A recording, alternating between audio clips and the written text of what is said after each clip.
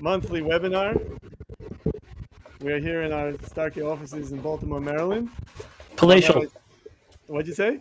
Palatial offices. I'm Rabbi Tzvi Goldberg, and uh, we are joined today by Rabbi Moshe Farkash in Yerushalayim, Ir HaKodesh.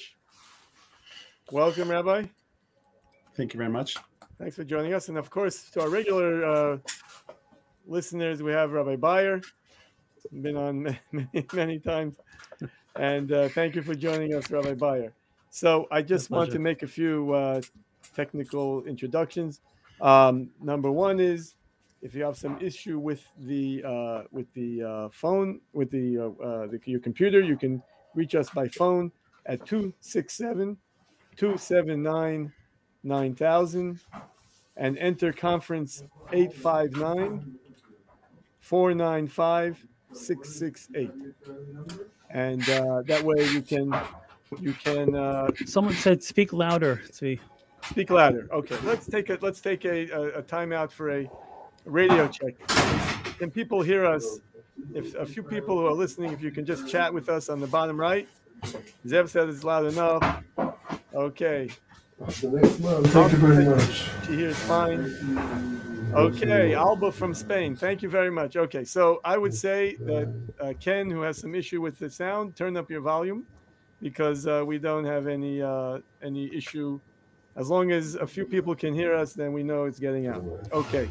Um, on, as you can see on the bottom right of your screen, we have a chat. And in honor of today's webinar, you can also translate it to Hebrew. There is a button there that if you want to, you can use it to translate to Hebrew or any other language, Spanish, whatever language you'd like, to Portuguese, whatever language you'd like to translate it to. is what Um, we're saying going to be like subtitled also? no, No. no, you just have a right. You have a way of tra- translating the chat to whatever language you want. Um, l- let me let me just start in saying that today, when we're not promising you to to talk about about individual certifications with names and uh, you know and uh, all the the gory details. It's not that's not for for a a, uh, for a public webinar if you if you'd like, you can always you can always contact us and uh, and be in touch with us to get that information. We're talking from a general perspective. Um, what is kashrus in Eretz Yisrael all about? And then in the second half of our webinar, we're going to speak with Rabbi Sholom Tendler about kashrus traveling around the United States. Rabbi Farkash, what is that? Uh, um, there's some background noise. Do you hear it? Yes, it's people. okay. What is it? All right. Hashem, it's not like big mice or something. What do you say? Yeah, There's some there's some background noise on your side, I think. Uh, Is that better? Okay, hopefully it will be okay. Um, all right. So tell us tell us what you do, just generally, Rabbi Farkash. What's your uh, what's your organization called? What do you do? Just we'll start off with that. So basically, the organization um, that I work for is called ZNT Kosher, Vada Kashrus in Eretz Yisrael, basically helping Americans navigate uh, Kashrus in Eretz Yisrael. When they come to Eretz Yisrael, there, there's a big kahila living here in Yishlayim, Beit Shemesh, uh, a lot of different neighborhoods. Rabbi Shmuel Wiener spearheaded this project, um, I want to say somewhere between seven to eight years ago, where he, he he's a Rav of a shul in Ramat Eshkol called Zichron Tzvi, and uh, basically catering to started catering to his uh, you know his his chevra, and he's also Rebbe in the morning in uh, Rebbe Center's yeshiva and afternoon at Toras Moshe, and ba- basically he became the go-to guy for kashrus, and uh, based on that we uh, started you know trying to get some restaurants and information about hotels and products, and we- we'll talk about all those details. So he Right. does kashrus during bein hasedarim. Is that the idea? Um, it's actually. It's yeah. Our phone lines are open from two to three p.m. Yeah, that's been a storm officially. Yeah. So you showed me before a little card, Rabbi Rabbi Farkash. Can you show us that your your, your business card? Okay, This so is our that's business ZNT card? Kosher. Yeah. So you can see the email there, zntkosher at gmail.com. Get ready to Right. answer all the emails that are going to come in. Yeah. right? Right. Okay. We and help then- with restaurants, hotels, and food products. Basically, when people go into shopping supermarkets, Okay. you have many, many products from all over the world here. So it's a basically match this symbol to try to find that symbol. Like, where's Waldo? Try to find the symbol on your on your uh, Okay. So your package four- of. Uh, You can just hold it there for a second, Rabbi. So those are the four hechsherim which we don't, which we are mentioning that are. Uh, you're basically saying that, you know, you see that you're good to go. The one on the top left is the Badatz Yerushalayim, and then on the right is Badatz Mahadran Rabbi Rubin. The bottom left is Rabbi Landau, and the bottom right is Sheiris. So th- th- those hechsherim, you're saying that they're all they're all acceptable. for all products. Next next time we print up these cards, we're gonna have the star K in the middle. We're gonna we're gonna sell we're gonna sell that spot in the middle for. Uh, we'll talk about it after we go, offline. go offline. okay. All right. Very good. Um, ZNT. The question is. Oh, yeah. Okay. The, the question was, what is ZNT stand for? So it's not Zionist kosher, but it's I was just gonna say that Zikron Rabbi Nosson Goldberg Tzvi, the name of Rabbi Wiener my, Shul. stole my thunder. Okay. Right. Right. right. okay. Um, I just want to uh, mention to uh, the, if you know we have usually we have our regular listeners, we always have some new listeners that uh, it's, this is not a sheer, it's not a cl- uh, like a class as you can see. It, it, it's really you know we deal with it as it comes up. We have obviously a, a plan to get through, but we take your your your your uh, chats and we have you know things that uh, we get sidetracked. We're just trying to give you an idea of what's uh, what's going on in the bigger picture. So that number that they can call you between two and three Israeli time is 058 kosher J, right? Um, so in, in in to translate that to English, and and if you're calling from America, you need to dial 011 972 585 674 375. You know, is Uh, there a way to post that somehow? Yeah. Uh, oh, um. Yeah, we can. I can try. Uh, as as yeah, as soon as we get a chance, we'll try to do that. And that's between two and three. I mean, we get phone calls all day, but officially I'm available between two and three p.m. Now That's we're what getting a seven to secretary. eight in the morning. Seven to eight in the morning. Seven seven to eight in the morning in America. Okay. So uh, that's when they can reach you to ask you. Okay. So Rabbi Farkash, I, I I- I've been to Eretz Yisrael many times, many dozens of times, Baruch Hashem, and I've been working in kashrus for a long time, over twenty years. When I go to Eretz Yisrael, I get nervous also. Like. I don't. I don't. Uh, That's you know, not it's such not a like riot fee. I mean, you go anywhere, you get nervous. Fee. It's not, uh, okay. That's, that may be true. But what I mean is, it's hard to understand why. This is a question that a lot of people want to understand. In America, they got to figure it out. Okay. They go to Eretz Yisrael, and all of a sudden, it's all who knows what's going on. So Right. give us some perspective of what is what, what what's the what's the background? Why is that? well, ba- yeah, Rabbi Rabbi, Beyer. you want to say no, I something? was just going to say it's very disillusioning when people, without if you don't know anything about Eretz Yisrael kashrus, and then you come there, you think everything is kosher. I remember as a bacher coming there. This is going back, you know, a little ways, and and then being told that you can't just walk into every restaurant or everywhere ever and assume that it's fine, which was really uh, disappointing, actually. Correct. Um, basically, what we realized is that well, the, the first nakuda really is is that um, it's the culture in Eretz Yisrael is much different. Um, that you know makes an afkamina when you're asking a question, how to relate to people, um, dealing with people. Kashrus is a lot, a lot of interpersonal, you know, getting information. So the the culture in Eretz Yisrael and the kashrus culture in Eretz Yisrael is very complicated when you ask is it kosher, the answer is everything's kosher. If you ask if it's bedatz, then they always say it's bedatz, and everyone knows the bedatz just means Beis Din Tzedek. It doesn't mean you know, you know, bedatz. So the first nakuda really is that it's a culture difference. So when people come from America, they're used to let's say having asking a question and getting a straight answer. And it's true. Sometimes you ask a question and you get a question back. so that's the first nakuda. The second nakuda really is, and I think I spoke to Reb Tzvi about this before. Um, kashrus in general is a game of supply and demand. Um, if you go to Los Angeles or if you go to Baltimore, there's multiple restaurants, you, you know, because there's a demand for a high level of kashrus. If you go to Wichita, Kansas, I'm not sure if there's a pizza shop there. So in Eretz everyone wants kosher, but I'm not sure if in, in every city they want the level of kosher that you're used to that you have in America. So in the big cities, Yerushalayim, Bnei Brak, you have a big demand for that. But in the smaller cities, I don't want to name cities, but I'm saying when you get out there, um, they're basically catering to a different clientele. So when an American goes to Eilat, they don't know that I'm in Eilat, why can't I get a slice of pizza that you know would be up to, up to my standards? The answer is, is because there's not enough demand in that city for that for them to supply, and, and the cheaper hashgachas, let's say, have cheap the products are cheaper. So you know the, the businesses aren't buying Eda Charedis cheese for their pizza, for for example, because they don't have to. They don't. It's not necessary. Eliza, Eliza asked, "Do you really think people in America understand kosher?" uh, she I didn't say. I don't know if people in America understand kosher in America, but when you go to any city, even the small cities, you have these small vadim. You'll have someone that you can call and you can say, "What can I eat in this in in, in your city?"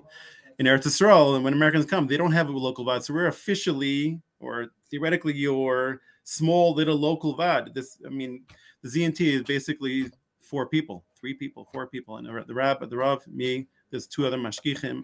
Um, it's a very small organization, and you know we're we get we get questions from people in North America, England, Australia, um, people whoever comes to Israel and speaks English, right? Because they're trying to. Another thing is besides the culture, also the, the language, the language itself. People don't people don't understand Ivrit. I saw your email. I don't speak Ivrit. How am I even going to navigate this? It's a it's so, a great service. I think that's a really wonderful service that you're yeah. providing. Right. Um, what we do is not really a regular cash. Regular cash. We do certify eight or nine restaurants, but most of what we do all day is really really service oriented answering questions, helping people out, people out in certain situations. Uh, I'll tell you one thing, Rabbi, that one thing that is a difference between America. Here, if you have a question, if a restaurant is under the star K, or under the Kof-K, or under the OU, you can go to the website and you can see right away whether it is or it isn't. The but, that's not always it's not always updated though. Sometimes. Well, okay. But yeah, you're right. Most of the more, time, more or less, more, yes, or less. more or less. Our, our website is updated. yeah, so, all the time. No, okay. I think so. so. I don't know. What? But you can. I, I don't. Can, go, I don't go on the web. You can get. you can get an updated kosher letter. You can see if it's expired or not. But um, but uh, but you, the badats and they, they don't have websites as far as I can see. So that means you have to call somebody to find out what the story is. That's right. one problem that, that I have. And the other problem is sometimes you go into a, let's say I've been in, uh, let's say Geula, right? and there's a big sign that has a bedatz symbol, bedatz Eda Charedis, which you showed before. Okay, and then you read it closely, and it's telling you, oh, it doesn't mean that the store is under the bedatz. That the this the flavor in the Slurpee is bought from the bedatz. The store, uh, know, has extra, doesn't have extra, somebody else. You know, you really need to to to know what you're looking at. I mean, that we would not allow something like that. You know, that, that's very confusing it is a little bit of the wild not they say the wild west it's it is it is a little bit of the wild east over here correct i mean people do make photocopies and put it up and people think that it's actually a certificate um, so it, yeah for the american it, it, he has to get used to kind of giving before you walk in other in america you walk into rest you see the certificate looks pretty original you walk in here and so you have to like kind of double double take a double take before you uh you know we we have a, the restaurant spreadsheet on top of the spreadsheet it says please double check that the certificate is is valid. Okay, um, let me um, just let me just let me just mention what you're talking about. You have you, you, one of your services that people can get if they email the ZNT kosher at uh, gmail.com, they can get access to your spreadsheet of acceptable restaurants around the around Israel, right? That's correct. Yes. Okay. so those are, are usually under another hechsher or your hechsher. Correct. Right. We try to update it every month. For example, Rubin, you know, the only way for me to get their their spreadsheet, their list of restaurants, I have to get a fax machine. So, you know, the okay. only fax that we're talking about, you know. uh, that, so, that's a problem because Rabbi Rubin has a lot of restaurants that he certifies and we accept him. And but where is the current information of where to go? You're sitting there on a Monday, Tuesday night in your in Yerushalayim. You want to go to such a what hechsher is it? and he doesn't. Okay, so there you go, the facts. So in other words, your spreadsheet has that information on it. We try to update it as, as much as we can. Okay, we, so everybody we, should know we, that they can right. they can email Rabbi Rabbi Farkash at ZNT Kosher at Gmail and get that get that spreadsheet. spreadsheet Very important. Correct. Do, do you? It's uh, also important. Yeah. I'm sorry. I'm It's also no, important no. to note that besides us updating the spreadsheet, when consumers go out to, let's say, in Tveria, and they realize, you know, again, the, the cashless market is very, very volatile. In the morning, it could be hashgacha A, and then someone got into a fight, and then the afternoon, it's hashgacha B. so I, I get, you know, I, so. The I just can't believe consumers.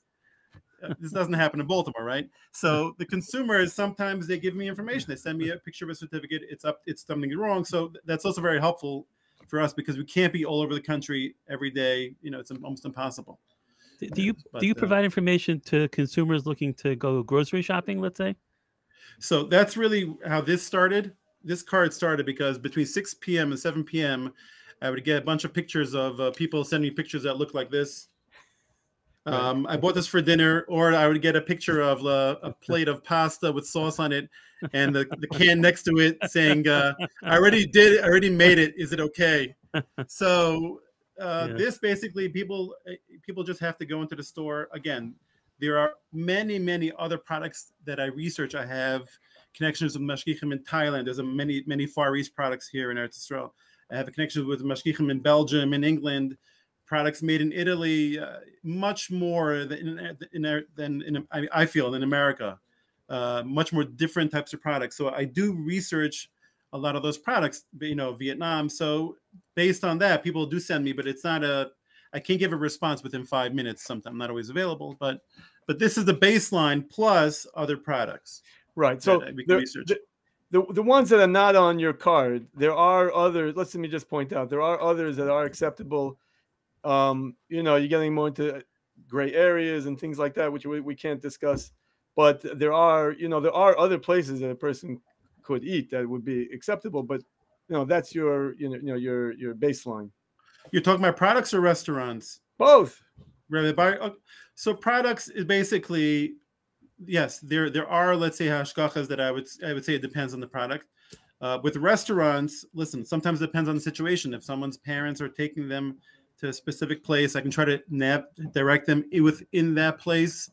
Um, we've made connections with uh, with me- the, the people that run the hashgacha in cities like Netanya and Sfas, which they're Rabbanut Mahadrins. Badatz has something. The Sfas has something called Badatz Sfas, and Netanya has something called Mahadrim and Mahadrin Netanya. Um, Mahadrin and the Mahadrin. Yeah, well, Mahadrim is yeah. well, in Yerushalayim, they also have three levels. It's called Rabbanut, regular Rabbanut. Used to be two levels, Rabbanut and Rabbanut Mahadrin, and then people were getting, then they opened a third level in the middle called Mahuderet. Okay, it's like buying an esrog, you know, Aleph, Aleph, Aleph, Aleph, Aleph, Aleph, Aleph, Aleph. Um, and then people, re- then people realized you're getting confused between Muhuder and Mahad. The Israelis were getting confused between Muhuder and Mahadrin and Mahadrin, and Mahadrin. So they called it Mahadrin Mina Mahadrin. So it's it, and these things constantly change. So we're in the process of, you know, making connections in different cities. That you know, I get a lot of questions. Herzliya, Netanya, Tel Aviv. You know, it's, it's complicated, especially because of Shemitah. But just um, and um, that's our goal to make get people at least two milchik and two fleshik places in every city that you, you can go and you can feel comfortable That, and that's enjoy your great. Oh, that would that Yeah. would be great. So this is this is that we've been matzliach in many cities because Wow. you, you'd be surprised when we when we tell Israeli mashgichim or the chief rabbi of Netanya, we told him what we do. He was like, "What do you mean? You, you're not making money off this? You're not? Uh, what's what's under the what's under the ta- you know what, what's going on here?" So I said, "No, we're here to service our community." And Baruch Hashem, we've been very matzliach because Rabina really the Shem Shemaim, and you know he's really spearheaded this really with Kavan and the Shem Shemaim, and we have had a lot of a lot of siyata the Shemaim Baruch Hashem. That's a great. It's a great. I mean, we get these calls also, but obviously we're not on you On know the on the ground. ground. Right. You know, like you are, and you you. We can much- switch. You guys can come here to the bunker, and I'll come to the palatial uh, offices if you guys. Uh-huh. anytime, man. Anytime. okay. Yeah. Okay. So let me ask you a few uh, pointed questions, Rabbi Farkash. Um, so you go into a restaurant or you call the mashgiach on the phone and you talk to him, and he tells you this is badaz, this is good. Is that You enough? think me like- or me or the consumer? well, let's take both. Okay. Okay, you start. Go for it. Okay, no, I mean, so that's what you do, right? You go into a restaurant, you talk to the mashgiach, but but um, I really mean the consumer. The consumer is going to call the mashgiach on the phone. The mashgiach is going to tell him. But by the way, the mashgiach is usually his number is on the tu'udah. In America, you don't have that. That's a that is a, a difference. That's The better. in mashgiach and the mifak and mifaker, and the mashgiach and the supervisor are usually Right. both. You can the- call the them two on their cell phone, Right. not only between two and three. So so they tell you this is Ma- Mahadran, this is Badatz, this is Shairis, everything's good. So what is is that enough? So listen, generally the mashgichim, you have to understand, in some of the hotels that we work together, I try to get these de- these details of hashgachas, but the bottom line is he's working for let's call it Rabbanut Mahadran. His answer to you many times will be everything's Mahadran. And Mahadran is a very generic term. And in every city, the Rabbanim of the city decide what's categorized as Mahadran. So when you go to a different city, every city, one's Mahadran will allow, uh, I don't want to say, let's say one Mahadran will allow tier three products, one Mahadran will allow tier two products. So if you, yes, if you theoretically, if you get a detailed, um, you know, list from the Mashgiach, or Mashgiach says we only use these four hashgachas, the mashal. So th- again, kashrus is about the ingredients and how you process it. So if we're talking about a falafel shop, and again, shmita is a different. So let's say not in the year of shmita. If you're talking about a falafel shop and the mashgiach tells you that he's only using these four hashgachas, and you see a Jewish guy behind the counter, theoretically that would be that would consider that safe. The question is, would you do that, Reb Tzvi, in America? You go to Wichita, Kansas, and uh, you call the Chabad guy, and he tells you that you only use only Star K products, of course, right? Well, And so Would- hungry would- would you be Yeah, comfortable without without a certificate eating in that falafel shop? It depends. You You know, don't a have to answer the falafel shop. question. A You can send me shop. a WhatsApp. I don't think a falafel shop is is is, is as serious as a as a fleshik restaurant, let's say, or something like that. No, so Well, that's what we- it is. we- we- we There's do- falafel and pizza. There's fast food. There's sit down. So my, I'm asking, in America, would an American consumer feel comfortable doing this homework on his own? Would he and, and eat there?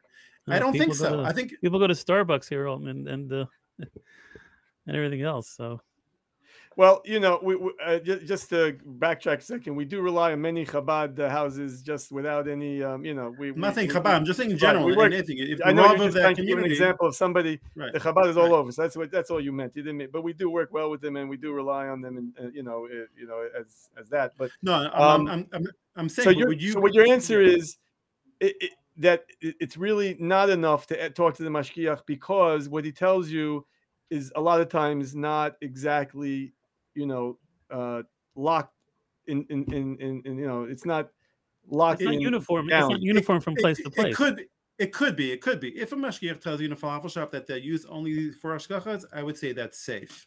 Not not during the year of Shemitah. Um, yes, Okay, but but if we're talking about like a buyer said a fishing place, then that's a little Okay, bit more I, I mean, people are writing about the bugs. Okay, I understand the bugs. Okay, so that's you're right, enochinami. But um, well, Okay, there's one more Okay, thing I wanted to ask you, Rob, before I get to the, the to the chats. Um, what about hotel breakfast? This is a big deal.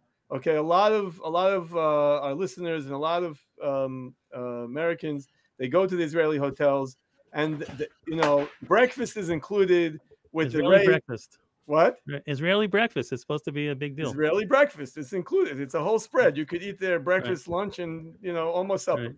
So Correct. so so they it's included with it, and they want to be able to eat there. You know, for the for the night, they understand. For meat, they're going to go somewhere else. They go to a place, one of those hashgachas that you showed us. But for breakfast, it's it's important that they be able to eat in that hotel. What should they do? they should contact us. okay. Um, and what would you tell them? Okay, so basically, you have to understand. Um, let's talk about Yerushalayim, for example. Okay, the difference between Rabbanut Mahadran and Rabbanut is Rabbanut Mahadran is makbid on Bishul Beis Yosef. Should, should I explain what that is? It means a Jew has to be cooking, Yeah. doing the actual cooking. Okay. The regular Rabbanut um, relies on Bishul Ramah, which generally most Hashkach, but in America, you'll rely on Bishul Ramah in conjunction with a mashgiach, right? Making sure that just in case fire, you know, if you have a uh, hotel with omelet stations, you have to mashgichim stationed at the omelet station, make sure the fires don't go out. Now, in a lot of these hotels, they don't have. I mean, I've done Pesach programs with uh, sometimes you know two head mashgichim, twenty-two mashgichim, two boydik talaim. It's a serious you know operation. Here in most of the hotels, you'll have one or two mashgichim monitoring. You know, on a Wednesday already, they're cooking breakfast, they're cooking dinner, they're ready preparing for Shabbos. A lot going on. So it really depends. If it's Rabbanut Mahajan restaurant, so again, kashrus is about the ingredients and how you process it. Just a bishul bishul Yisrael part of it has to be make sure that it's taken care of. Now, regarding the, the ingredients, what we I mean, Meir isn't there less of, less of an issue for as far as Bishul Yisrael? well, in considering that most of Yerushalayim, we're very close. We're very close. Well, in Yerushalayim, the cheaper labor is is you know, Arabs. Arabs, basically. Right. Um, it's possible, yes, that if you have somewhere in, uh, let's say, Haifa, you know, you never really know. That's the truth because there are, you know, Drusim in different cities and stuff like that. But, um, but so we, we realized that, I mean, we're getting a lot of questions about hotels. So what we did was we tried to go into some hotels and it's literally a five-year project of building up a relationship, you know, at, you know, let us into the, to the kitchens. We just want to see, so basically, what I do is we go in every, you know, once in a while, we go into these hotels that we have a working relationship and we discuss products. And Baruch Hashem, even in some hotels, we are matzliach to switch some products that come with a quote unquote mahajan ashgacha, but based on my research, they, you know, they wouldn't be considered mahajan in America.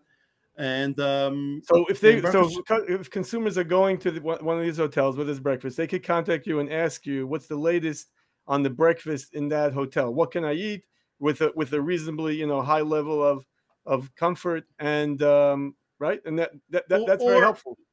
Or what I can do is I can try to break the ice with the mashgiach because a lot of times the mashgiach, like I said before, he'll tell you everything's rabbi mahajim, but that's not what you're asking. You're asking a little bit, little more detailed. So if if you know because they know me, some a lot of these mashgiachim. So when I say that I'm sent, like I sent someone to Tveria, Tveria this week, they actually come back from Tveria now. They went to a place that has regular rabbanut and heter mechira. So you know, so what do you can eat. So basically, I spoke to the mashgiach for a while, and um, they said, you know what, send them to me. Tell them that Moshe Farkash sent you, and uh, I'm going to take them for a little tour of, you know. So basically, what they ate was was like a lot of the the pastries, the the pyre of pastry, the breads, and the pyre of pastries. Some of the cold cheeses, basically the cottage cheese, you know, that comes in a bag, you know, five kilo bag. It's like you know, you carry it on your back. They take out the cottage cheese out of a bag, put it in a bowl.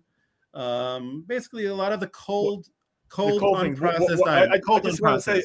And my, I'm, I'm, uh, what I want to point out is because they use the heter mechira, which we don't have time really to go into the whole Right. story, but a lot of our listeners know what that is anyway about Shemitah, that the whole land of Israel is sold.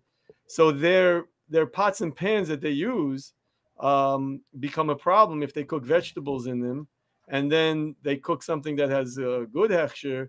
We would not be uh, comfortable with, with that. So even if you know that right now they're cooking for you, let's say eggs in a pan that they cooked some some vegetables in, we have a problem with that, correct? That's exactly the question I got at 9:17 a.m. The lady asked me, "Can I have eggs?" What could be wrong with want to have scrambled eggs? I, Right. I want someone to make it for me. So I, I said one thing. I, the answer was kalim. That's it. Right. Like exactly what you Utensils, pointed. Right. You pointed- Utensils. You don't know what was in there before. Uh, Okay. Right. Let me just take some of these chats so we can we can um let's see some questions. Okay. Kashrus in a house rental. That's not really applicable right now. Maybe when we have on Rabbi Tendler. Okay. The two places per city list that you mentioned before. Where do you I don't do have you that. I don't have that yet. The spreadsheet has a lot of cities all over Eretz and we're in the process of. Oh, you're trying to you're trying to get to we have to get to Tveria, that. Sfas, I see. Netanya, Herzliya. Had a place till a month ago that was uh, that was Landau, which would be tier one. So currently, you know, I send people to two other places under a tier two hashgacha in conjunction with speaking to the mashgiach, who, who Right. both of them that I know. But again, people have to know where they feel comfortable. If someone calls me and says, "Okay, where do you want to eat?" So I tell them to this. I send them to this restaurant, speak to the mashgiach. But if someone says, "I only want to eat Eid and Rubin only," so I said, but you're in Herzliya. There isn't only Eid and Rubin. It doesn't exist. Maybe in the supermarket you'll get yourself a little ices, you know, but it just people have to know where they're holding. I can't tell people where I can give people information. I can't make decisions for them. Right. Uh, let me If just in certain mention situations, they should contact their Rav to see how to deal with that specific. Let me just mention your uh, your email again, Rabbi. It's uh, znt kosher at gmail.com. or like, uh, zntKosher.com. It's a very uh, basic website, but in the process, It's in the chat, Rabbi zntKosher.com. What's that? You, zntKosher. you wrote it in the chat. I wrote it before, but someone else is asking. They didn't see it before. Okay. Okay, some of the chats I see are about particular hashgachas, and we don't really, uh, it's not really the place for it. but yes, there are there are you know other places perhaps you could eat, and uh, you know you could be in touch about those uh, those those those places. Let me see if there's anything else here that we wanted to to mention, Rabbi Rabbi. You were, one of the questions about the Milchik restaurant. That's an Oh interesting yeah. question. So is milchik? Is it true? Here's the question we got emailed. Is it true that when it comes to milchik restaurants in Israel, one can be lenient? In other words, there are almost no issues in a milchik restaurant to watch out for. That was the question we got. So in a Milchik restaurant, I actually think a Fleishik restaurant might be a little bit easier because essentially a steak place. I'm not assuming that the mashgiach is on top of the the meat, but Ah, I'm okay. talking right. But uh, but uh, I'm talking about ingredients, ingredient wise. A Fleishik place is essentially meat and potatoes. Okay. Okay. Now, Milchik place, uh, you have a lot of salads. So when a lot of times you'll call the restaurant, you'll ask them, "Where do you get your leafy stuff?" They say it's gush katif. Gush katif basically means it's greenhouse grown. And Right. You can ask Rabbi Tendler in a couple minutes what greenhouse grown means. Sometimes uh, they come with a lot of different levels, and even in the better hashgachas, even if you get leafy stuff with the better hashgachas, the the organizations only take responsibility if you wash it properly. So if you deal with a place, let's say there's a one place that makes their what they do, they sell salads. In uh, in our in our cafe, we wash let's say three cases a day. In that place, they probably wash twenty cases of lettuce a day. So it, it has someone has to be on top of it that the the lettuce the leafy stuff is being washed properly. That's a. So wait, wait, wait. Let, let- let me just repeat that. That's very important because a lot of times you call the mashgiach in in the in the in the Israeli And he'll say it's gush katif. He'll say it's gush katif. Gush katif. Everything is gush katif. So what you're saying is that's not enough because the gush katif has a rule that, that you need the the, the hechsher says Well, gush katif is, wash is it means I greenhouse grown. katif is a is a general term, but the but the Right. particular hechsher has a requirement that you wash the lettuce before you use it to get rid of you know bugs that might might might still be there. Are, are Like- there like for example, in our cafe when we first started, so we had one of the chefs, and he was a chef in one of the bigger hotels, and he said, "I'm going to wash the lettuce." So I said, "Let me see." He opened the bag, took the whole head of lettuce, dunked it in water, and started chopping it. You, ba- you essentially all you did is you, ga- you gave it you, you didn't do anything you know you have to in the separate the leaves yeah basically yeah he was table it yeah um so it's important that's a very important nakuda because gush katif is being thrown around a lot that that that because you know they people feel like that'll you know answer all questions. Another the next nakuda really by milchik restaurants is uh, a lot of the cheese products. Um those a lot of those products are coming from cheese all over the world. You know cheese is a very highly sensitive you know there's a big production from the from the milking to the production to the rennet v'chulu v'chulu. so um based on our research not all those cheese products would be considered let's call it tier one. So and then we had talking about the sauces and stuff but basically the leafy So you- stuff and the you- cheese the answer to, to, to the question, can is it true that a milchik restaurant you can just be lenient? The answer is N-O, right? no. or low or low lamb and Low. olive Olive, right. Uh, Ruchama is asking, what is the benefit of gush katif if if it doesn't help you if you need to wash it? well, it's better than it's better than not gush katif. Well, well, a lot of the times they uh, for the better hashgachas they're left with flies. Um, it's it's greenhouse grown. Listen, not there's no perfect science. You can ask Rabbi Tendler. There's no perfect science for uh, getting rid of the bugs. You know, they have you know basically they do a run, and after they take it to the lab, and if it passes whatever the different requirements, then then it's fine. Otherwise, it goes to the other hashgachas. You know, it, it goes down the chain of command or whatever chain of you know. So you don't really know where it's holding um, when it gets to you, and also it has to be washed properly, even if it does pass the. Would it would it be Kedai Reb Tzvi to just uh, chazer over um, the whole the whole Rabbanut situation and how that works, or is that too Um, big? well, a- we have we have a particular question here. Richard is asking. Just- Well, that's what uh, I'm asking. That's did what I'm Rabbi saying. Maybe Farkash that's uh, say that the Rabbanut hechsher is not as strict with Bishul Akum as the Mahadrin hechsher? what, don't what I said said was what I, no, I didn't know what I what I what I said was is that in America generally I don't know tell me if this is true I think a lot of the hashgachas are are are okay with bishul ramah is that Right, correct Rabbi yes. Beyer Yes, okay yes, correct now given that in Eretz Yisrael the culture is different which means that there's many many Sephardim in Eretz Yisrael so the Rabbanut Mahadrin and I believe also the Star K when they were here in Eretz Yisrael they were makben a bishul beis Right. Yosef just Right. because we're catering to a different clientele. That that's what I said. But both of those would, would work. But again, the Rabbanut Mahadrin has to be makar on that because they're catering to the general populace, which is includes many many Sephardim. Okay, very good. Um, we do have some more questions, but uh, I think our time is run out. We want to, um, I guess it, it, it, it, it is um, a daunting topic, you know, to discuss kashrus in, in, in Eretz Yisrael. Can we- And um, Can I just ask a quick question Sure. about um, Of course. Leaving when you're flying out of Eretz Yisrael? So, do you have anything to say about the what's what's um, the food on the Listen, airlines? I get, I get many questions about the lounge because every Jewish guy has a priority pass. Um, and if you don't, you should get Not one this one. quick. Rabbi Goldberg's got one, but I don't. I'll add you on. I'll add you on. I'll add you one. on. Okay. Um, Yeah, have to Tendler has- it's, has it's, several. It's, it's Yeah. again, it's again the Nakuda that I was saying. It's a game of supply and demand. Um, if there's not enough of demand, in other words, uh, which uh, Hasidic guy has complained that he can't have the salad? He's just gonna have the, the Coke and the crackers in, in the lounge, you know. But on the plane also, um, one of the questions I think Rabbi Goldberg was was about the vegan meals. You have to Yes, understand that the ovens ovens on on the plane don't have hashgacha, right? You don't know what's been in that oven. Regular rabbanut. We can, we can talk about zay and different things in ovens. right, the vegan And- meals would definitely not be acceptable. That's there's no Would not I be acceptable. recommend that. Right. I have the number of the mashgiach halal, but you have to understand he's working for a big organization that's catering to Right. wider clientele.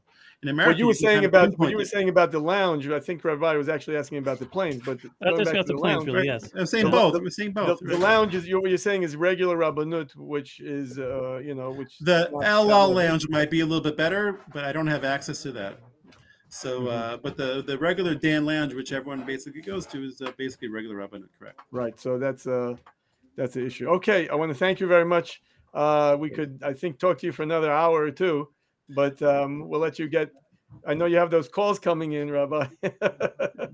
Right. The pasta sauce with the pine. right. You did you did mention to me that you would uh, appreciate if people would call you not from the restaurant while they're sitting down to eat, but an advance notice, you know, so you could guide them and not uh not Uh, not, not be put on the spot like that. it's a very important Nakuda. I think just like people reserve uh, rental cars and reserve hotels and reserve tours at the chocolate factory, um, I think it's also very important to kind of map out a little bit. Again, I don't think, again, when people come there to Eretz generally it's either to, to visit a child or to go on a tour. You know, it's, I- I- you have to understand, you have to kind of, you know, you're on vacation, but you have to be a little responsible about it. This is just traveling anywhere. It's, it's very important. When you go to Panama or you go to South America, you want to make sure that you have the restaurants lined up Right. um, I think it's very important to try to do that in as much as you can. But again, people, you know, people tried their best, but uh, we're here. To All right. Well, thank you very much much, as we and can. Yasher Koach. Keep No, up the good thank work. you so much. We, we you Thank know, you. we, we're behind you. We support you, and we wish you a lot of hatzlacha. Thank you very, Yes, very indeed. much. Thanks for coming on. Yeah. Have a good Shabbos. Take Good care. job. Good Take care. Take care. Bye-bye. Present. Bye bye. Okay, terrific. All right. Just you and me, huh? Uh, well, we have Rabbi Tendler. Hold on a second. Let me get um, let me get Rabbi Tendler on. We're going to talk now. We'll move to the United States. The the the the uh, the situation in America. Hold on a second. Okay, let's wait for Rabbi Tendler to come on. And Where is he? um, he sounds like he's outside. I think he's in his. Are you in your office? you know, this is not a fake background. I actually ended up having a meeting. You're in the at, uh, safari. no, but we have a, an event at the Marriott Waterfront in a couple of weeks. So I ca- they, they called last minute. They said the only time they can meet is today. So uh, I figured, what better place to have a talk about a travel webinar than you know at the Waterfront Marriott downtown with the harbor in the All right. background. You There know, you there you go. go. There you go. Okay. Watch out for the squeegee, guys.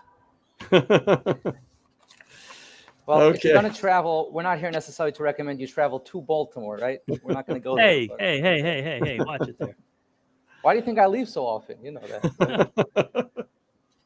okay, Rabbi Tendler. So um, I want to just introduce you for a second. That uh, uh, Rabbi Tendler is is our food service director in Baltimore, and he runs the restaurants, hotels, caterers, and um, as well he has many facilities across the United States, and therefore does a fair amount of travel. I won't ask you how many miles you have this year, Rabbi Tendler. I won't put you on the spot, but um, I know that United knows you by your first name already. Okay. Uh, um, You know, that's not the point. As long as they pick up the phone when I call. right. Okay. Okay. So we have a lot to talk about when traveling locally in the United States. Um, you know, it's not necessarily going to be kosher food where where you are where you are traveling to. Uh, so you must right. You must be adept at bringing food with you, or or figuring out how to find food in the places where you go. Just before you answer that, I just want to say we got an email that we must mention that Trader Joe's across the United States is the go-to for some people when you're looking for like kosher items. They have a very good selection of of kosher products um, that you wouldn't find elsewhere. But that's really true about almost every supermarket, right? I mean, if you go to a Safeway or a, Go to Walmart. what or Right. Go to Walmart, Walmart. right? You can find OU, Right. Star K products in all these places. So you're not going to so stop. I, I have that's that's true. So rule number one is like as Ray Farkash actually mentioned before. You know, you could do a little planning ahead. If you did enough research to book your plane ticket, um, you could probably figure out a little bit what to do about food. Now, sometimes you don't have a choice. You're going for a few weeks to a place where you know you're renting some Airbnb, Airbnb somewhere, and you know who knows what you hope it's filled. You know, generally speaking, you're going to bring food with you. Um, cooler bags, things like that are obviously the way to go. If you don't, like for example, last week I happened to have gone to um, I was somewhere in Miller, Indiana. I had to go do an inspection, and so Indianapolis does have a frum community, but I wasn't going to be in enough time to go anywhere. And 10 o'clock the night before my flight, uh, my wife says to me, "What are you doing about food?" And I was like, "You know, I forgot about that. I didn't. Even, I, I com- completely forgot. I had a very busy day. Um, uh, someone's saying they don't see or hear me. Um, is there any issues? Um, well, as long as some people can, if we can just have some people chat, do you hear Rabbi Tendler and see him? Then we can assume that it's okay. okay. If, if, if some people are hearing you, then it means that it's getting out there and the problem is on the other side. Yes. Okay. Okay. Thank Anyway, you. so I completely forgot. I forgot to pick up any food. It was only one day, but still a day. I wasn't planning on fasting the whole day. So there, there are so many options in the United States for sure. As you mentioned, any any supermarket um, is going to have the estimate anyways is between 60 70 percent of the items, items are kosher. Whether it's Quaker oatmeal, granola bars, cereals, um, instant mashed one second. potatoes. Yeah, 60 to 70 percent. Wait, really? more.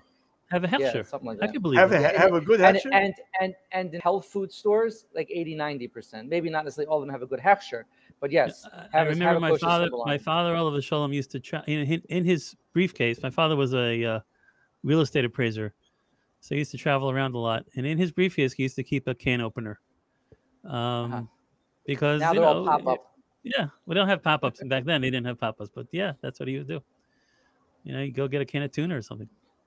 so yeah so i mean you could tuna maybe you can't necessarily find but part of items cereal instant rice the minsley star case certified minsley rice and quinoa meals ready cooked ready to eat are available in all supermarkets so you will not starve it might not necessarily be your first choice of prime rib and you know hot you know instant hot potatoes or something like that but you, there's going to be plenty of food no matter where you go um, as you mentioned trader joe's and i'll also mention costco in particular in many many cities have selections of harder to get kosher items whether it be cheeses meats or or things like that. I was once in doing an inspection actually a vegetable inspection in middle of new mexico and um, i went into a random i had to fly into i forgot i think i flew into el paso.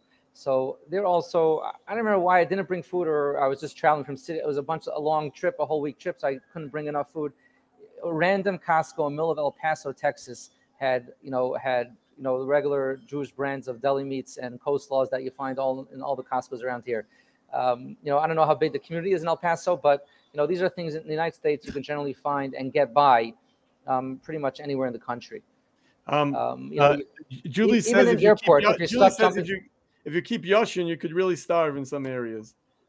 Um, so rice is not going to be a problem of yashan. Cer- wheat cereal is generally not going to be a problem of yashan. Um, can't- so rice you have know, to so cook, there's so- just Or you can just No, no, travel saying from the- only travel from I mean, rice cakes. You can get rice cakes, I guess. rice cakes, but also the as I said mentioned before the Star King Minsley meals, which come ready to cooked, you know, ready to eat. Um, I was not going to be a problem with Yashan. Um, personally, I am not Akbar in Yashan, and I have traveled quite considerably. So again, you might not get your first choice of all the different items and cookies that you crackers that you're looking for, but you you will not starve. So Um, that's how you keep your. That's how you keep your your figure, huh? That's how you keep your weight down. Well, you know, listen, knocked we- we- you know, we can you can come biking with me and Irving Goldberg once in a while. Okay, Um, so let, let, let, I just want to mention that we have a fair amount of travel articles on our website. Uh, Rebbe Heber has written articles about uh, Tfilas Haderech and about flying on a plane and davening on a plane. And um, I have some articles about hotels and about cruises, uh, which I've never been on, but but we have we have a fair amount of articles that people. We, I think we have a section called travel that you could see all of those, and we recommend that you take a look at those before you uh, you you head out. Um, I just to, just out of the blue, Rabbi Tendler, since I mentioned davening, you have you have some ideas about where you where you should daven when you travel, right? Or in, in airports and So what? So what my goal was referring to is I, I made notes for myself when I started traveling about all the different airports where the best spots are to daven. Whether it's empty gates, specific phone, phone booths, like they used. To, many airports still have like banks of phone booths, which obviously nobody uses anymore. But some of them are still there. Um, whether it's lounges or clubs or even places where you're not, as Ray Beyer would say, zeicha to the privilege of having a lounge pass. Uh, many airports have business centers which are available to all flyers, even if you're not one of the frequent flyers or have lounge passes. And generally, those are quieter areas with a desk and a little bit of a cubicle type of a situation. And th- you know, I made notes in many different airports of where the best places are to daven.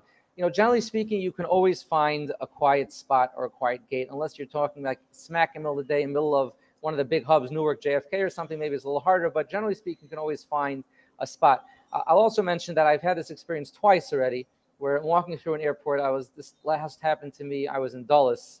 Um, I don't remember where I was going anymore. Um, I was going walking through Dulles, middle of the afternoon. It was a full deck of flights going out. United in Dulles is a United hub, and I'm walking through the terminal, and you see on this side, just literally, there was like a little like ledge in the terminal wall. Right there, there was a Muslim guy with his mat spread out and you know doing his thing, and you're like, you know, in the middle of a busy terminal, he doesn't care. So, you know, someone once told me a, a, a line also is that a Hasidic guy in LA, he said there's two places he's not embarrassed to walk around in his shtreimel and full, you know, Hasidic, uh, Bekish and everything like that. In Millie Williamsburg, where everybody walks around like that, and in the middle of LA, he says, no, in LA, no, shugana gate and gas. You know what I mean? You're, you're, not, you're not any crazier than the next guy out there in this day and age. So you want to pop yourself down by a gate, put on your tallis and tefillin and start davening. So start davening. So they think you're crazy. They think you're crazy. Guess what? You know what it means? It means no one's going to sit next to you on the plane. That's not necessarily a chasara. okay. All right, very good. Um, let me let's take some of these questions. I see they're asking but in the hotel. How do you, if you want to heat up your food, uh, in the microwave? What do you? Uh, So there's there's a few recommend? options. First one, you could double wrap. Um, that's obviously the easiest option, probably the best option. Take any two bags. You have, you know, uh, you could take the, the the bag that they give you in the for the ice for the ice bucket and a clean garbage bag or something. Double wrap your food, stick it in the microwave, and that's probably the best eitza that you have. The other thing is that they do sell on Amazon now these plug-in. They look like a little lunch box, the size of a small pan, and they have bigger ones the size of a nine by thirteen pan that you can plug in, and in about half hour it heats up your food. It's basically a traveling hot plate. It's they say it's completely safe to use. What's Um, it called? on airplanes? What's that called? Um, I don't know what exactly what it's called. I literally just learned about this recently. Bikur Cholim here bought a bunch of them for people who are in hospitals to use. Um, it- it's something uh, it- it- that I- I'm planning on getting one because it's something that I can imagine being very, very helpful when you're traveling. So that's obviously another way you can heat up food. Um, That's cool. now the other the other thing, um, there was a someone had a question that I just noticed before that was a, an interesting question. Um, oh, A- A- Atlanta said it has a prayer room chapel. That's a, a discussion whether you have multi-denominational prayer rooms or chapels, Right. whether you're allowed to go in there and daven Well- because it's not really Jewish room. It's also used for all the religions. Sometimes and there's nothing there uh, on the walls that's that's really objectionable. It's just an empty That's room. what the Rav says. I remember we discussed with I'm not Rav a few sure. I- I don't know. Um, I, I never bother with them because I go into the club. But uh, you know, I was once on an army base, and on army bases, a lot of times they, they their chapels are like universal. So like they have like a big cross, and then they like flip it around, and there's like a big you know Magen David or something. it's like so the Daisy I don't know how that works. Yeah. I'm gonna actually. I found what you're talking about, Rabbi Rabbi Tendler. While you're talking, it's called Hot Logic. So I'm gonna Hot put Logic, up yes, that, that's right. That's right. I'm putting up this link. It looks like a long link for just that one item, but some somehow that's what Google that's what Google gave me. But if you click that, you should get to the um, to that little warmer you're talking about that you can heat up the food. Um, you said what you say, like 45 minutes? Less and less than that. I forgot what to say. It gets up to I think 165, 170 degrees, so it really makes your food, you know, really considerably hot. It really Does it cook? It cooks or it just heats it up? At that temperature, it could cook. Technically, it would take a little longer to cook, but to reheat meals for sure. Um, whether you bring their own, or you bring those Maspia or the Meal Mart packaged meals that you know that are shelf stable, which I have. I traveled to Korea once for a whole week with those meals, and uh, you know I didn't lose that much weight from them. That I could tell you. You're talking about these uh, these kind of meals? Lab, well. Labrador, those have a heating element where they self heat up themselves. Um, bes- besides those, it's actually the same company. Meal Mart makes the meals that you just have, have to either pop in a microwave and they come already double sealed. Oh, so I those see. are a Okay. good option as well.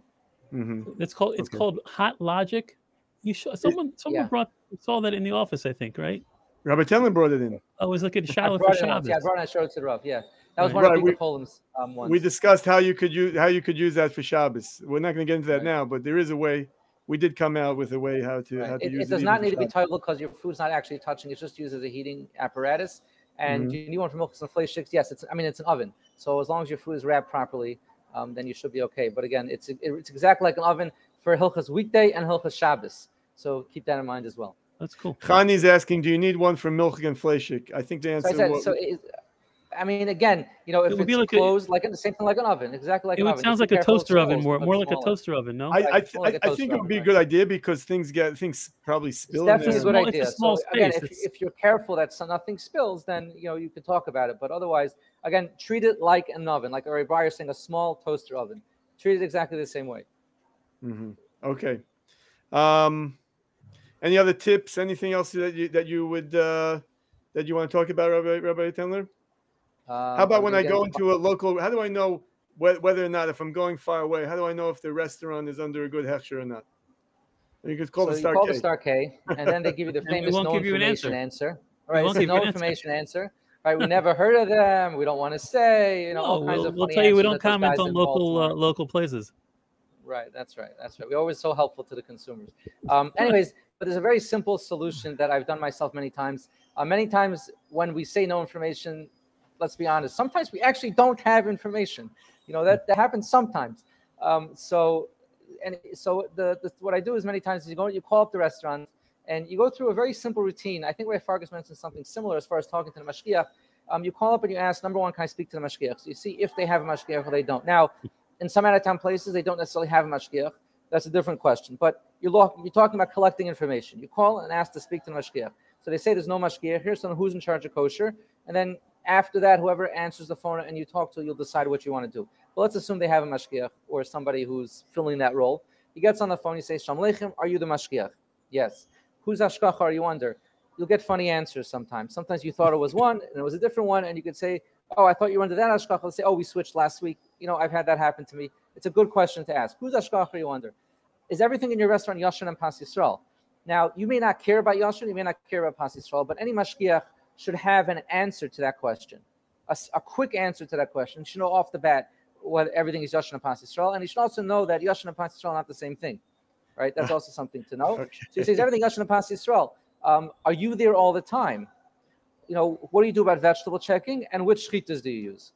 Any mashgiach, in, in any mashgiach who's you know who's doing his job properly should have instant answers to every single one of those questions. Now he may say when you ask him, let's say about the shchita, I have to go check. I'm only the afternoon mashgiach. The meat deliveries come in the morning. Okay, that's a valid answer. But by asking these five or six questions, you really can get yourself a picture of what's going on I tell people the same thing. They're going to a hotel, they're going to a program.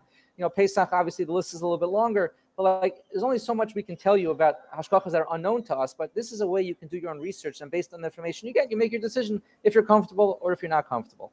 Um, I had myself uh, an experience in one out of town place where I called up a restaurant, asked to speak to Mashgiach, need a Mashgiach. First of all, Mashgiach just went to the bathroom. Happens a lot. Okay, yeah, right. Okay. Anyways, let's see. I got the Mashgiach on the phone. Yes. Is everything Yashin and Pas Yisrael? Yes, absolutely. I said, what about your Franks and Blanks? He said, everything's Yashin and Pas Yisrael.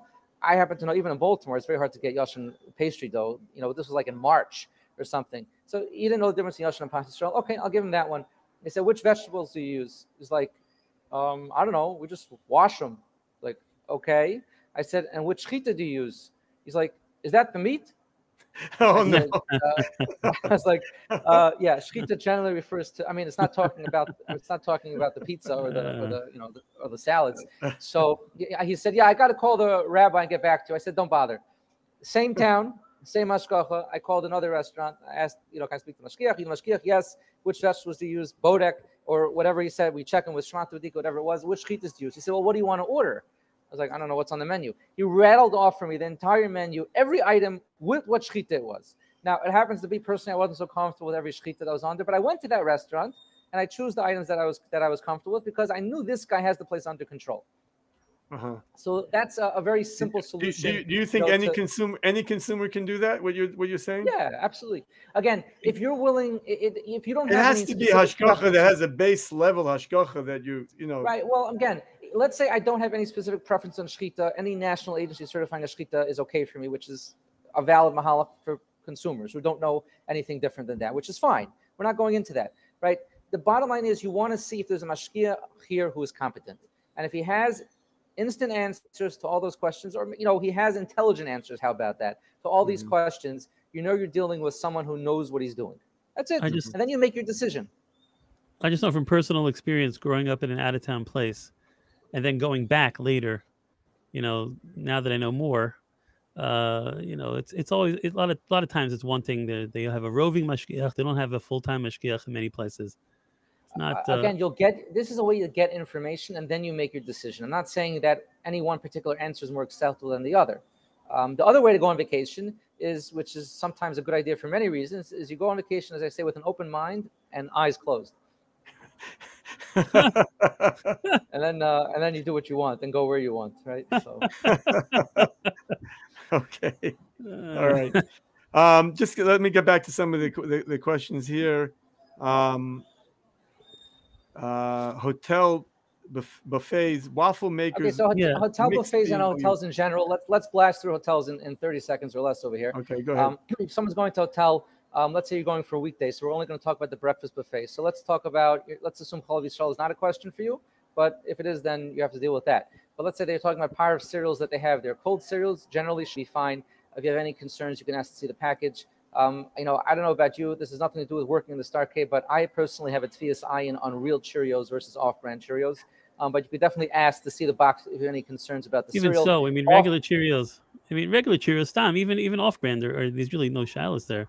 Yeah, yeah, yeah, I'm just saying they're most of them are going to be kosher anyway. But I'm just Right. saying I can look at it and say, okay, these are Cheerios, these are real Fruit Loops, and uh, you know, real Cocoa Puffs or you know whatever else my kids eat. But most people have that kind of TSI. That's a I, I, simple. I, I'll be honest with you. I don't. I don't. Couldn't, I don't think I could tell by looking at them.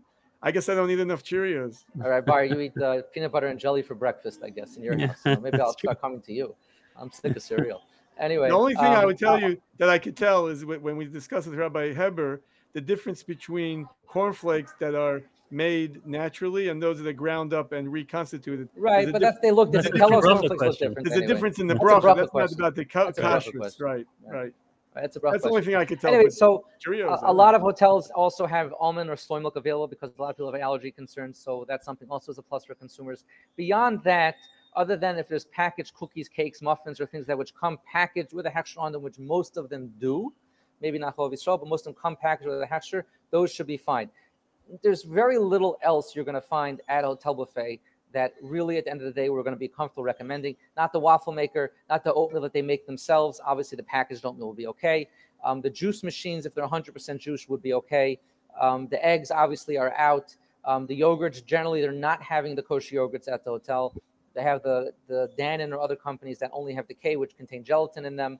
Um, so there's nothing else really from a hotel breakfast bar that we would feel comfortable recommending, other than the cold cereal, the milk if you're not making Cholov Yisrael, or soy milk, almond milk, and anything else that's packaged. Um, if they have bread there, um, you know, regular bread, you can ask to see the package. Chances are it's probably kosher, although not necessarily. And bread is something that absolutely needs hashgacha.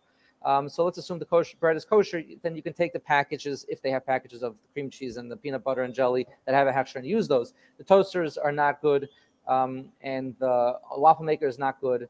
Um, there's really nothing else at a hotel breakfast bar that you know, is worth discussing. Um, and, and the reason people ask why is because first of all, there's so many other things that go on behind the scenes at a hotel. Whether you think they're always using the same product or not necessarily using the same product, waffle mixes definitely need a hashgacha because it has a brand name on it. Doesn't mean they're always using that brand. Trust me, I've seen it. Okay, in food service, we've seen it all, as they say. And and on top of that, anyone who's lived in a Bachram Dira, you know, you know what you can do with a waffle maker and with a toaster. you know, you know what you can do. With, you can you can make a suda shloim hamelach b'shaita from a waffle maker, right? So so we don't have to go there and, and discuss what other things could possibly happen. So therefore, it's not something that Mm. people we would recommend. Ar- Arthur Um, is coffee saying and- that, that that most Dannon has an OU, but that's not That's not correct. correct. In in in, That's in not correct. You, you can check the and label easily. vanilla- It'll say gelatin on the label if it has most gelatin. Dannon that you buy in your kosher supermarket has an OU, but the Right. Dannon Right. that you buy elsewhere has just a K because of the Yeah. gelatin inside there. You'll see the Right, gelatin. the You'll say, it'll coffee say and it on the label. vanilla, the plain coffee, the plain vanilla have a extra have an OU on them. The other ones do not. None of the other ones do- don't have a don't have. Um, now, the hard-boiled eggs in hotels are not okay. They're straight out bishul akum unless they come packaged with a hechsher on them. Um, now, um, as far as staying for a hotel, staying in a, a coffee in hotels, co- if it's plain coffee in hotels, it should be fine. Um, and the coffee makers in the room also generally should be okay as well. Uh, now, if you're staying in a for Shabbos, that's a whole other list of complications. You talk, and these we have articles about. You can look them up at the Kashrus Kurrents website. Plug, um, and that's well as far as door access, um, automatic lights turning on, bathrooms having electronic flush, and things like that. Those are all things that a, someone would have to, you know, go walk through, so to speak, before Shabbos and be prepared for. Not saying there aren't ways necessarily to get around all of them, but that's something you'd have to do your own research on, in, depending on the hotel you're staying in. Um, okay, now Okay, let me far ask you one more thing, Robert. Robert, uh, let Yeah. me take you one more place, Rabbi Tendler. Uh, meals on the plane, right? People are traveling. Um, What, uh, what's a meal on a plane? a meal on the plane? I haven't seen one of those in. Well, that's in, uh, true. You only get it when you go to Eretz Yisrael, right? So that I should we They're should have coming back. They're coming back in. They're coming back in. They're coming back. They in are in. America. So, yeah. Um, you know, fro- well, so some flights. That's let's only at say- your level, I think, Rabbi Tendler. your travel level, I think, maybe. Uh, so, I mean, so look, look, look. story. Going. One look, second, one second, one second. Go ahead. There's a story with Mr. Zev Wolfson, Zichrono Livracha, that he was someone once saw him flying, and he always, as you know, sat in economy class. That was, you know, he didn't spend an extra penny on anything like that. Someone came to him and said, "Mr. Wolfson," he said, "How can we sing in economy class?" He's like, "Why? There's a lower level." There's a cheaper level. um, okay, listen, you know, when it, if you travel a lot, it is something that's definitely beneficial. But the benefits that you get from traveling a lot are the, the airline gives them to you, so they keep you loyal, and they do a very good job at that, uh, keeping you loyal. So it's not about you know becoming the the haughty guys walking onto the sitting in your first class seat with your nose up in the air, looking down at all those peasants walking by in the aisle over there. It's just a matter of people who fly a lot, and it's a terrible drag to travel. And I will tell you something else. Like the first week that I started all the, doing like all this travel, first couple of months, I was doing a lot of travel when I started with the vegetables, particularly. It's like a schmuck. And we get so many phone calls from people. I want to travel, join Kashrus World and travel the world. I didn't travel for like 10 months during COVID. And the first time I got back on a plane, I thought like, oh, I'd be ready to travel again and hit the road. I was like, can they cancel the flight, please? Like, Yeah. it, it is not I- I know the It is a feeling. schlep. Not It is a schmuck. complete Right, right. I'd much rather be home than anywhere else. So anyway, having said that, with airline meals, so getting a perk of having an airline meal on a plane when you're schlepping around from city to city to city like a Meshuggah, you know, for a, a couple for a week straight, um, is sometimes is very beneficial and could be very helpful, assuming it has a kosher uh, symbol on it. Now, the meals on airlines have to be sealed. Um, airlines mix meals up all the time. Certain routes, obviously, Tel Aviv routes all have kosher meals, but even San Francisco, Newark, and LA Newark now again started serving kosher meals. Delta has a few as well. I'm not familiar with Delta. You can ask Rabbi Goldberg, or Rabbi Shaul Goldberg. He's a Delta man. Um, I typically fly United. Um, the meals have to come sealed, completely sealed. And the companies that make the airline meals, so United, it's Fresco, Star-K certified, so we know firsthand the meals are properly sealed and delivered to the airline sealed. If they are not sealed, do not eat it. Do not trust anybody's word or anything else other than what you see in front of you that the meal has to be sealed. The flight attendants mean well. They're here to help you and trying to help you. They're saying, "Oh, I just unwrapped it for you. I'm sorry. You know, I didn't mean to unwrap it for you." And they hand you the meal totally unsealed. Don't eat it. And I'll give you a story that literally just happened within the last few weeks. An uncle of mine texted me. He works at a big firm in New York, and they brought in pizza. I don't know somebody's birthday or something like that. They get these kinds of things all the time. So obviously, for the from people that work there, they bring in kosher pizza, and the office manager does the ordering. Knows this. She knows the routine already. She's done this a hundred times. He texted me. He's like, they brought the pizza. They put on the table. They put a sign. This is the kosher table, as they do all the time. I didn't see any tape or seal or anything on the box to indicate that it was kosher pizza. Should have got it from Bravo Pizza, which is, you know, everyone knows Bravo Pizza Shop is a kosher pizza shop down the block. He said, What do you think I should do? I said, and this was a text message. I said, that's a tough call. I mean, there's no simanim. You're completely relying on the fact that a, a non-Jewish person, as good meaning, and as well-meaning as they are, well-intentioned as they are, don't keep kosher. So halachically, don't have namanas. And how do you know that it's a kosher pizza? There's nothing really you can do. Well, If you call the pepperoni might give it shop- away. well, so this was a cheese pizza. Okay, that was the first hint. Very good, right, Beyer. Um, so they, so I, I said, you know, there's really very lucky thing. If you call the pizza shop and they confirm the order, then we could discuss it. He calls me back a half hour later, breathless, flustered, and and shaking. He said he called the office manager and she made a simple mistake. She called Bravo Pizza and not Bravo Kosher Pizza. There's Oh, two my. shops in the area. Jesus Louise. Okay, so as well-meaning as well-intentioned, you the you know how I- I- I- were much smarter than us, and they said your food needs simanim, your food should have simanim. Let me At the ask you a same time. Yeah. I'm sorry. But an airline meal, Lamaisa, if it comes in, all they did was open it. You can see all the simanim everywhere. so if you can that- tell, if you can tell, but I'm talking about a situation you can't tell, um, Right. and that has happened to a number of people I know. This kind of situation. So yes, if you can tell, then you're good to go. And that was actually segueing into the next point I was going to make, and that is the famous story that everyone talks about, where a guy got up to wash, up and roped his corned beef and pastrami Was it sandwich, which is I heard it was for some Jewish. Yeah. What? It was Rav Koleski, Anyways, heard, he got right? up to. It was not Riflevsky. Maybe No, he would have asked you this question on a smicha faher, even though he didn't faher and kuftet ches. But okay, maybe he would ask just to just to throw you a loop, which was like him. Anyway, so um, he got up to wash and he comes back and he decided that his meal was Bashan Zalman Ayin because he hadn't supervised and it was sitting there open and no other Jewish people around or no other people paying attention to watching his meal, obviously. And he didn't eat it. And the person next to him said, you know, uh, why aren't you eating it? He said, because uh, Jewish law prohibits it if it's unsupervised from eating it. So the guy said to him, wow, your law really protected you because when you weren't looking, I, sl- I slipped a piece of ham in there just to see what would happen if you eat it. Now, that story is is very nice. I mean, I'm not sure if it's nice. It's baloney, pardon the pun. Um, it doesn't really make any sense, not halachically and not practically. Practically speaking, I, I don't really believe people would actually do that. But let's say I'm, I'm naive and I've never seen a trickster before in my whole story in food service and dropping hashgachas and picking up hashgachas. That happens constantly in this business. So I don't know what any about that. Fine. Halachically speaking, there's nothing wrong with it, at least for Ashkenazim. Right? If you have tvias ayin, you left, you opened your pastrami sandwich that was sealed properly, or you brought it with you. You come back, your pastrami sandwich is still there. Looks like you left it the same way it was before. 100% mutter to, for you to eat. Um, Right. Plus, also the fact little- that you're not going away for a long time. They got right, you know you're just going to just wash and you're coming right back. There's really no problem. Right, Yotze Right, there's So really that, no problem. right. That's a story that we probably probably didn't happen. Let me ask you before Right. we uh, finish, Rabbi Rabbi Tan. I know we could go on all day. Um, uh, uh, do you have any practical tips for travel now in this in these difficult uh, times? Like, besides don't.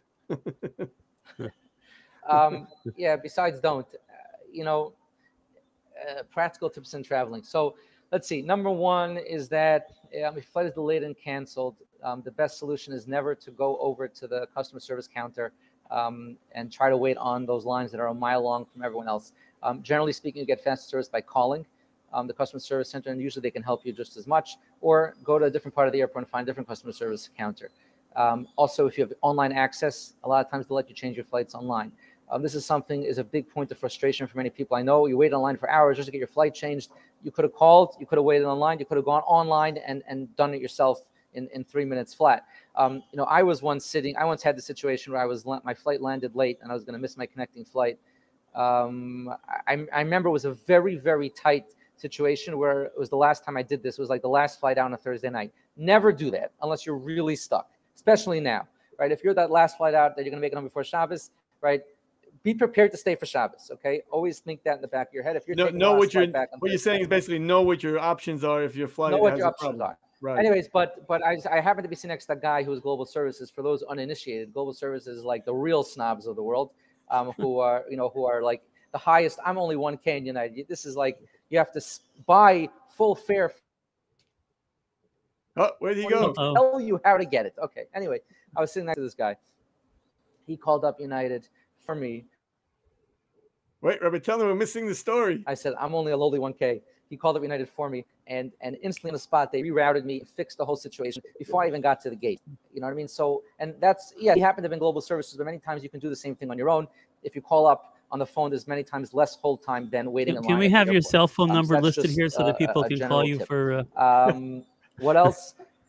Um, I don't know what else. No, it's very good. You're giving us a lot of practical think- information. I, I, I just want to say if, if we have questions, uh, there I'm sure people have. I see there's a lot of chats, and we're just not able to get to everything. Um, and uh, and Rabbi Tendler has a lot to say, and there's a lot to talk about. If you ha- your question wasn't answered, you can reach us at 410-484-4110. Um, you can leave a message for Rabbi Tendler.